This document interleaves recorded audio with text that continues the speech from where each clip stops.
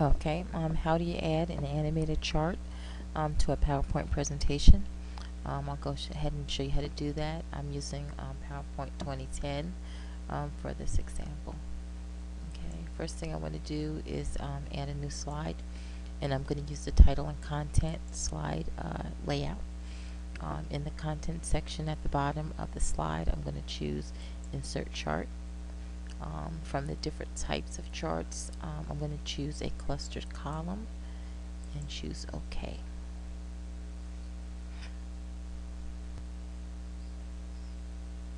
Okay a um, Excel spreadsheet comes up um, which feeds into the PowerPoint uh, chart. And what you do is you insert um, whatever data points you want in the Excel spreadsheet. And those actually like I said get fed into the chart so I have some some data ready um, that I pulled from I think this is the one I want to use from the consumer expenditure uh, survey. And what it does it looks at annual um, average expenditures versus annual average housing expenditures um, between the years 2006 and uh, 2010 okay. Uh, by default um, three series um, are available in four categories so um, in this case we'll only be using um, two series um, annual average expenditures and annual average housing expenditures. So we'll go ahead and um, and not use the third and that's just basically um, dragging the chart um, data range over to exclude series 3 and then actually want to extend this down because we're going to have five categories as opposed to four um, and those are two, these years here. So we're going to go ahead and copy and paste the data that's over here into the Excel spreadsheet.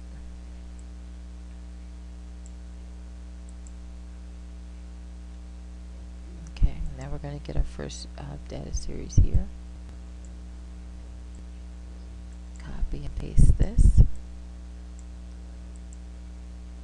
and then the last series is um, annual average housing expenditures.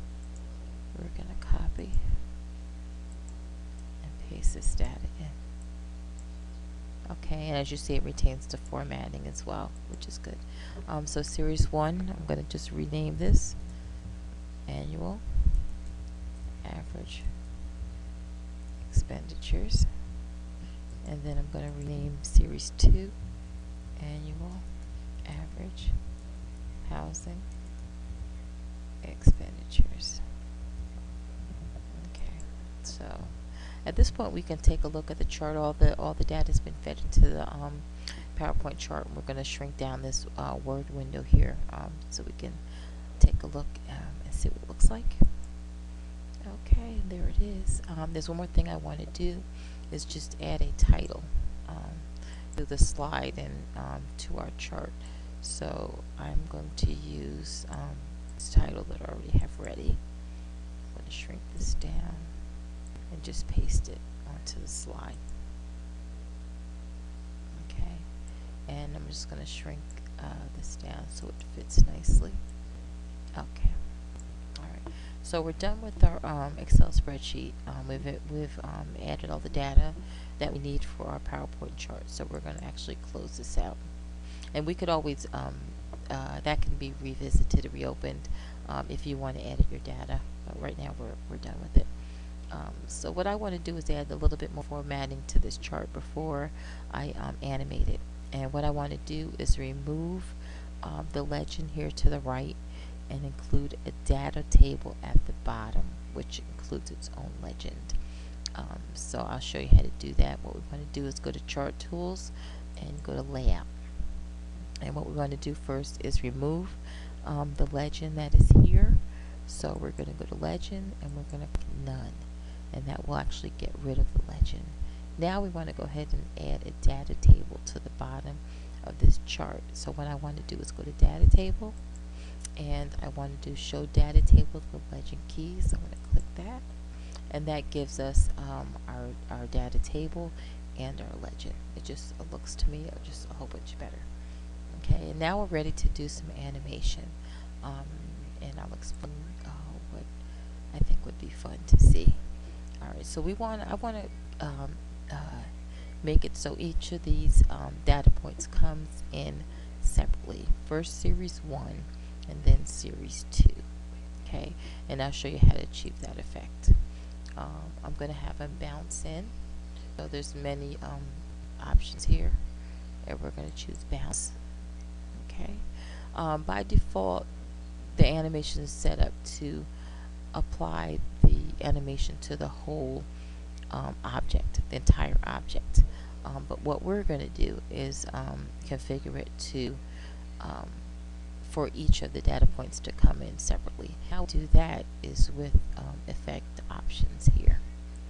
Okay, rather than have it um, the animation applied to the entire object, we're going to have the animation applied to um, each um, element in the series. So each element in the series will um, have animation.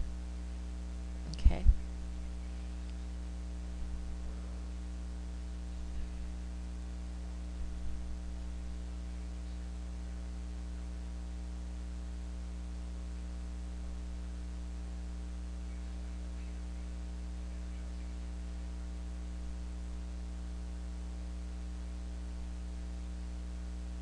Okay, so that's all done. And one more thing I want to do is um, set it so that each of the data points follows um, the other one. So in other in other words, I don't want them to come in and I'll have to click to each to get each data point to come in. I want each data point to come in after the other one is done. Um, and I'm actually going to show you the animation pane and play that to show you exactly what it looks like.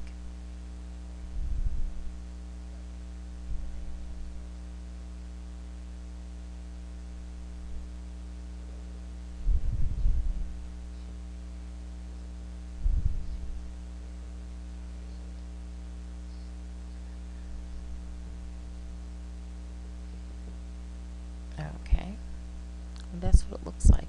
Um, and actually, what I think I'll do, um, I I'm not really um, going to show you how to do slide transitions and whatnot in this um, particular PowerPoint demonstration. It's just strictly to show you how to animate, how to create a chart, and how to animate a chart. Um, I'm going to close this down. Uh, but you, you did see how that worked. I can go ahead one more time and show you um, from the slideshow exactly what it's going to look like. So when you go to the slide, this is what um, will be shown. So instead of just a static slide, um, there's just a little bit of animation. It just adds a little bit of um, extra touch to the PowerPoint presentation um, that otherwise um, wouldn't be there. Okay, and then I'll just hit escape to get back to the PowerPoint presentation. So I hope you enjoyed this short um, demonstration.